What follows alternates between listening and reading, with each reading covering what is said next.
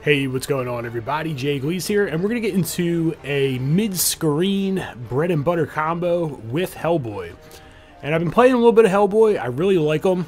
I'm definitely going to be playing more Hellboy in the future. And don't forget also, tonight is the subscriber spotlight, and we're going live at 8 p.m. Eastern Standard Time on Twitch. And you can watch at twitch.tv slash jgleez. So what we're going to do here is we're going to start with the forward 2-3. All right, it's a mid. It's pretty far reaching.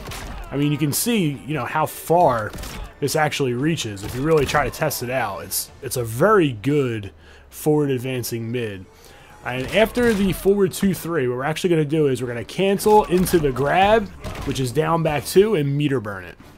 Alright, so it looks like this, meter burn. Alright, once we get the meter burn down, we're going to use the back 3 and then we're going to jump in with a three, go back two two, and then we're going to end in this grab again. So just to put the first half together again, to show you real quick, right here, meter burn. All right, then we're going to back three it.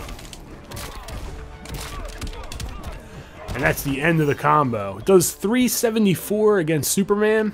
Now, the cool thing about Hellboy is the fact that he gets a damage buff. So when you have your damage buff activate it as far as your trait goes, this combo does even more damage. And the reason why it's so good is because you can hit confirm this.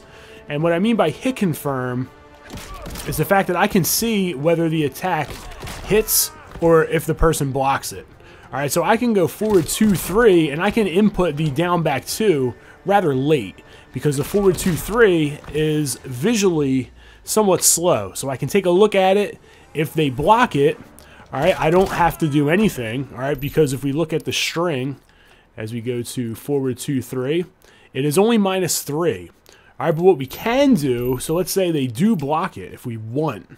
All right, so we're going to put it in block always. We can cancel into the charge and then meter burn it, and we can stay plus. All right, if we meter burn this late, all right, the later we meter burn it, the more plus we're going to be. Also, one thing to keep in mind is that if you do meter burn it late, there is a gap. So in between the actual shoulder ram, which is back forward two, and the overhead portion where you meter burn, there is a gap there if you do delay it. But when you delay it, you get the benefit of being plus. All right, so that's just a little little, you know, mid-screen combo, some things you can introduce as you move forward with Hellboy. He's a really good character. I haven't really gotten into his um, his float dynamics yet and all that. But I'm to get into it. I'm to, you know, develop some really good setups. Uh, but he's very strong in the neutral game. His projectile is really good. I'm really digging him. I think he's really good. All right, so that's it. Thanks for checking in. If you have any questions, leave it down in the comment section below, and I'll be happy to answer them. It's Jay Glee signing out. Thanks for checking in, and continue to game strong.